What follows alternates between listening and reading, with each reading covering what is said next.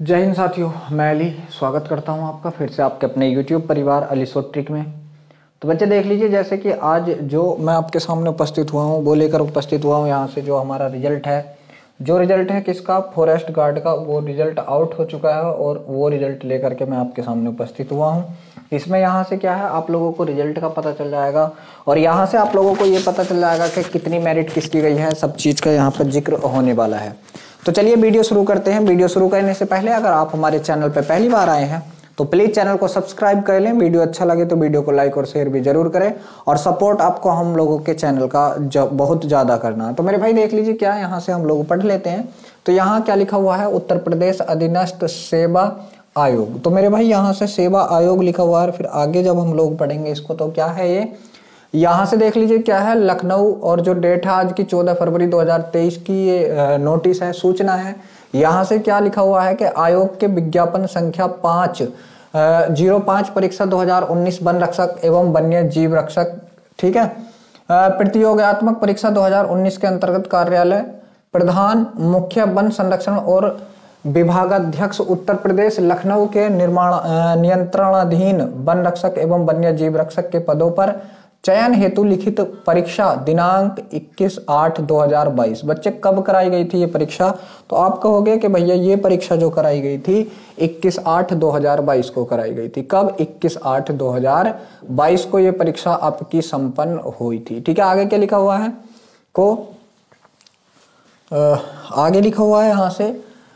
को 27 जनपदों जनपदों में आयोजित कराई गई थी। ये परीक्षा जो है आपकी इस डेट को 27 जनपदों में उत्तर प्रदेश के ये आयोजित कराई गई थी। आगे क्या लिखा हुआ है? दूसरा है सूच्य है कि आयोग के अध्यक्ष सॉरी, आवश्यकता सूचना दस दो दो हज़ार तेईस के प्रश्नागत विज्ञापन के अंतर्गत वन रक्षक एवं वन्य जीव रक्षक के कुल विज्ञप्ति कितनी थी? 655 पदों पर पदभार श्रेणी ईडब्ल्यूएस श्रेणी सहित। ईडब्ल्यूएस को भी ज्वाइन कर लिया गया था। विवरण आयोग की वेबसाइट पर प्रकाशित किया गया है। ठीक है? तो यहाँ से देख लीजिए, ये प्रकाशित किया गया है और यहाँ क्या दे रखा है? तीसरा पॉइंट पढ़ेंगे जब हम लोग। तो उक्त विज्ञापन के अंतर्गत वन रक्षक एवं वन्य जीव रक्षक के कुल 655 पद। कितने पद थे अगर? टोटल टोटल पदों की बात की जाए तो टोटल पद कितने थे मेरे भाई? आप कहोगे कि टोटल पद 655 थे बच्चे। कितने थे? टोटल पद कितने थे? 655 पद थे।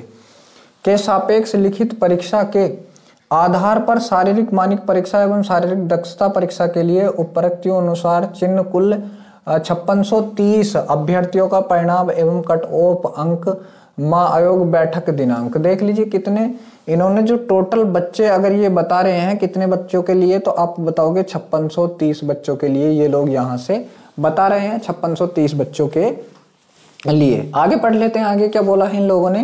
कि चौदह दो दो हज़ार तेईस को अनुमोदित किया गया है। मेरे भाई, जो आज है आज है चौदह तारीख, अब दक्ष किया गया। उपरयुक्त छप्पन अभ्यर्थियों में से एक अभ्यर्थी जिसका अनुक्रमांक ये है, उसको औपबंधिक रूप से शारीरिक मानक परीक्षा एवं शारीरिक दक्षता परीक्षा में सम्मिलित किया जा रहा है। ठीक है?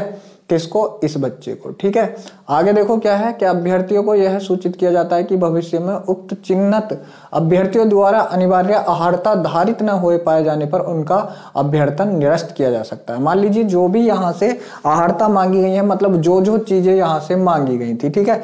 जिन जिन की ज़रूरत थी, मान लीजिए जैसे टेन प्लस टू मांगा था ठीक है? या और जो जो भी मांगी थी, अगर वो उनमें से कोई भी एक आपके पास नहीं है तो आप इसके लिए निरस्त किए जा सकते हैं। नेक्स्ट पढ़ लेते हैं क्या है?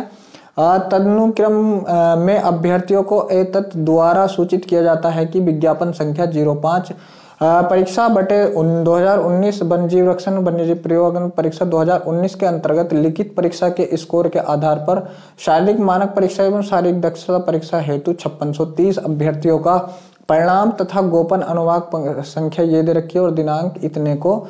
देखो इनका क्या है? तो इन्होंने बताया है कि हम लोगों ने जो है कितने बच्चे यहाँ से? तो ये लोग बता रहे हैं छप्पन बच्चों को। ये लोग कितने बच्चों को बता रहे हैं? आप कहोगे छप्पन बच्चों के बारे में ये लोग बोल रहे हैं। ठीक है? कि छप्पन बच्चों का क्या है यहाँ से? आ, लगाया गया है जो भी ये लगाया गया है। तो चलिए देख लेते हैं मेरिट के पास चल लेते हैं हम मेरिट क्या क्या है ठीक है?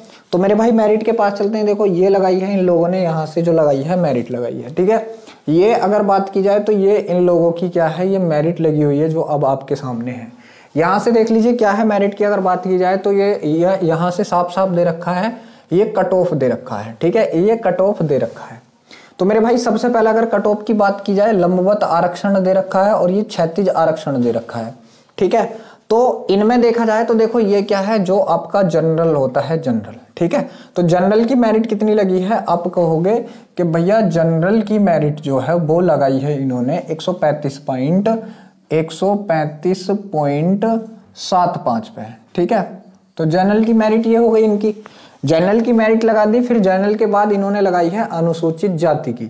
ठीक है, अनुसूचित जाति किसको कहते हैं हम? एससी को कहते हैं, ठीक है? किसको कहते हैं? एससी को कहते हैं। और एससी की जो लगाई है, एक पे लगाई है। मेरे भाई, कितने पे? एक पर इन्होंने एससी की मेरिट लगाई है, ठीक है? फिर उसके बाद अगर हम लोग देखें तो फिर है अनुसूचित जाति, जिसको हम कहते हैं एसटी बच्चे एसटी की इन लोगों ने जो मेरिट लगाई है यहाँ से एसटी की कट ऑफ़ जो लगाई है तो आप बताओगे 119.75 लगाई है। कितनी? 119.75 जो लगाई है, ये एसटी की लगा दी है इन लोगों ने कट ऑफ़ ठीक है? उसके बाद हम देखेंगे, अन्य पिछला वर्ग मतलब ओबीसी तो आप बताओगे, जो ओबीसी की मेरिट लगाई है इन लोगों ने, ये जो जर्नल है, बिल्कुल उसी के समान लगा दी है। जर्नल के समान लगा दी है ओबीसी ठीक है? जनरल ओबीसी में कोई अंतर ही नहीं छोड़ा है। उसके बाद है, आर्थिक रूप से कमज़ोर वर्ग जिसे हम लोग ईडब्ल्यू e कहते हैं। जिसे हम लोग क्या कहते हैं? ईडब्ल्यू e एस कहते हैं और इसकी मेरिट भी क्या है? बिल्कुल जनरल और ओबीसी के सेम लगा दी गई है। जनरल और ओबीसी के सेम इसकी लगा दी गई है तो ये लगाई है मेरिट ये किसके लिए है? अगर आप पूछोगे ये किसके लिए है मेरे भाई तो ये मेल की मेरिट है। किसकी मेरिट है बच्चे? मेल की मेरिट है। और ये छप्पन बच्चे इन लोगों ने इस आधार पर लिए हैं। ठीक है, छप्पन बच्चे इन लोगों ने इस आधार पर लिए हैं। अब बात कर लें फीमेल की। अब आपके माइंड में कहीं उठा होगा कि भैया, फीमेल की मेरिट और बताओ। तो देखो बच्चे, फीमेल की बात अगर की जाए, यहाँ से देखो साफ़ साफ़ साफ़ दे रखा पहला पॉइंट क्या बोल रहा है कि स्वतंत्रता संग्राम सेनानी देखो स्वतंत्रता संग्राम सेनानी की कितने पे लगाई है इन्होंने? 130.25 पे स्वतंत्रता सेनानी की मेरिट कट ऑफ़ यहाँ से लगा दी है। ठीक है? बात की जाए विकलांगजन की तो विकलांगजन पद विज्ञप्ति नहीं है और महिलाओं की अगर बात कर ली जाए तो इन्होंने जो फीमेल की अगर बात की जाए फीमेल की मेरिट की, ठीक है? तो मेरे भाई, आप बताओगे फीमेल की मेरिट जो इन लोगों ने लगाई है, वो कितनी लगाई? है बच्चे 135 लगाई है। अब देख लो आप फीमेल की भी कहाँ लगा दी? बच्चे फीमेल की भी कहाँ लगाई है?